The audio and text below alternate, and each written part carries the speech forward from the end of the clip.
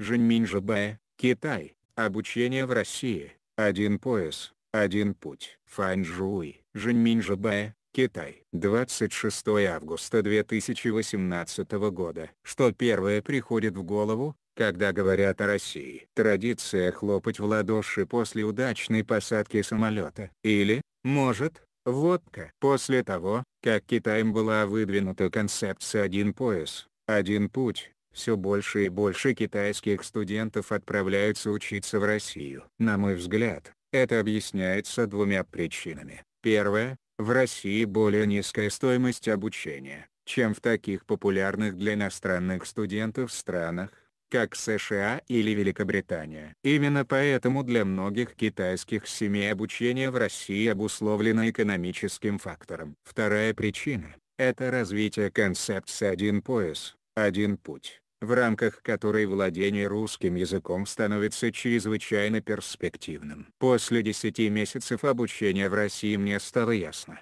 что впечатления от увиденного здесь одновременно и совпадали, и различалась с моими первоначальными представлениями об этой стране. Я приехала по обмену в Московский государственный лингвистический университет, один из первых университетов России, который считается очень престижным среди лингвистических вузов страны. Из-за того, что сюда каждый год приезжает много студентов со всего мира, можно сказать, что система обучения иностранцев в этом вузе уже достигла идеала. Учебные планы составлены по всем научным критериям. Студенты могут сами выбирать интересующие их курсы. В обязательную программу входит разговорный русский язык, грамматика русского языка, русская культура и так далее. Пройдя все эти курсы, я заметила, что стало лучше понимать русскую речь, лучше говорить по-русски, глубже понимать русскую культуру. Сегодня в России все больше молодых людей хотят изучать китайский язык. Из-за того,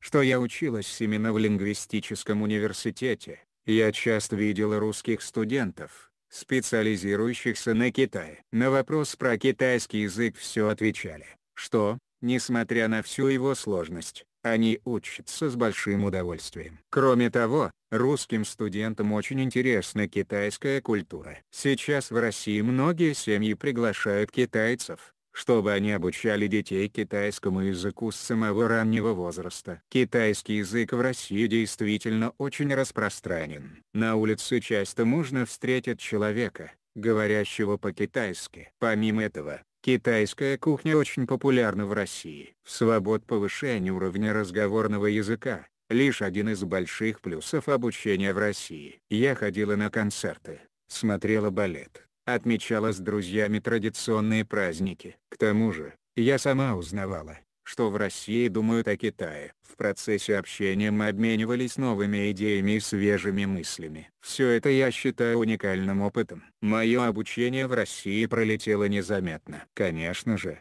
я буду очень скучать по этой стране. Я надеюсь, что у меня будет возможность вернуться сюда снова и что еще больше людей смогут насладиться чудесными пейзажами этой прекрасной страны. Материалы на СМИ содержат оценки исключительно зарубежных СМИ и не отражают позицию редакции на СМИ.